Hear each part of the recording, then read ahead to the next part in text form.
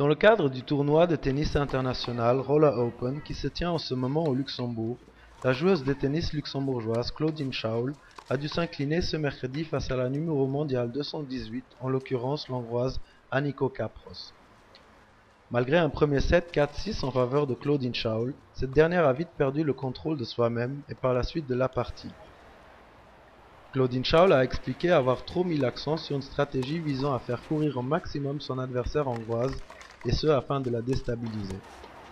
Trop focalisée sur sa stratégie, elle aura oublié de développer son propre jeu.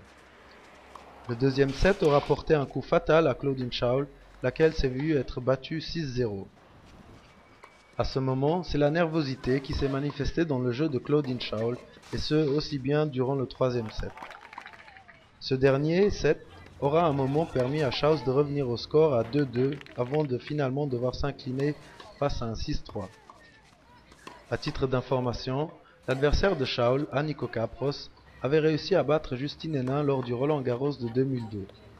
Claudine Schaul, quant à elle, a cumulé sa troisième sortie de route d'un tournoi international en se faisant éliminer à Bruxelles, Zveregem et maintenant au Luxembourg.